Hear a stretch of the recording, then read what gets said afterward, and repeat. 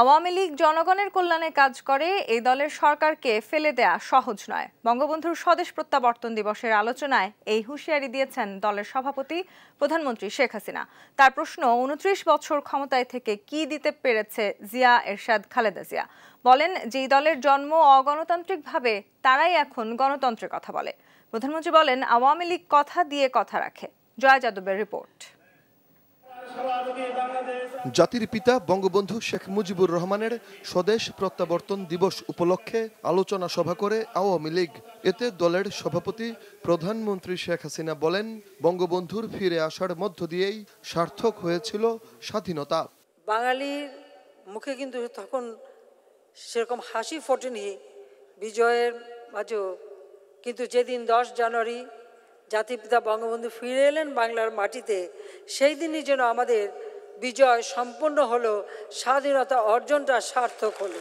শেখ হাসিনা বলেন গত চোদ্দ বছরে সব দিক থেকে বহুদূর এগিয়েছে বাংলাদেশ যা করতে পারেনি অতীতের সরকারগুলো। চোদ্দ বছর আগের বাংলাদেশ যে কি ছিল এখনকার ছেলে মেয়েরা সেটা ধারণাই করতে পারবে না।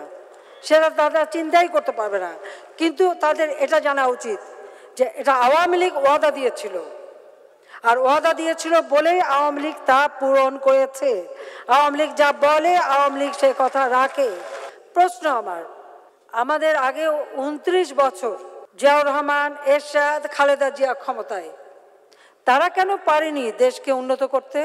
আজকে তারা যারা গণতন্ত্রের জন্য নাকি আন্দোলন করে, ওদের জন্ম তো গণতন্ত্র থেকে হয়নি। হয়েছে ক্ষমতা দখলকারী সংবিধান লঙ্ঘনকারী মিলিটারি ডিক্টেটরের পকেট থেকে। আওয়ামী লীগের সরকার উৎখাতের ষড়যন্ত্র হচ্ছে জানিয়ে প্রধানমন্ত্রী বলেন এটি এত সহজ নয়।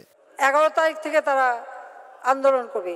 আবার তাদের সাথে জুটে গেছে অতি বাম অতি ডান সব অতিটা সব এক জায়গায় হয়ে আতি পাতি নেতা হয়ে তারা নাকি একেবারে ক্ষমতা থেকে আমাদের উৎখাতই করবে। একটা কথা আমি বলে দিতে চাই। আওয়ামী লীগ জনগণের জন্য কাজ করে আর আওয়ামী লীগ জনগণের কল্যাণে কাজ করে। আওয়ামী লীগকে দেখবে ধাক্কা দিল আর আওয়ামী লীগ পড়ে গেল এত সহজ নয়। কিন্তু অবৈধ ক্ষমতাকে বা কোনো কেউ যদি ভোট চুরি করে, তাকে ক্ষমতা থেকে হটানো, সেটা আওয়ামী লীগ পারে এটা আমরা প্রমাণ করেছি।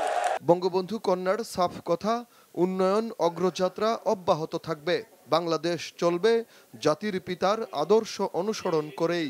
লাখো শহীদের আত্মত্যাগ কোনোদিন বৃথা যেতে পারে না বৃথা যাবে না। জয় যাদব দেশ টিভি ঢাকা।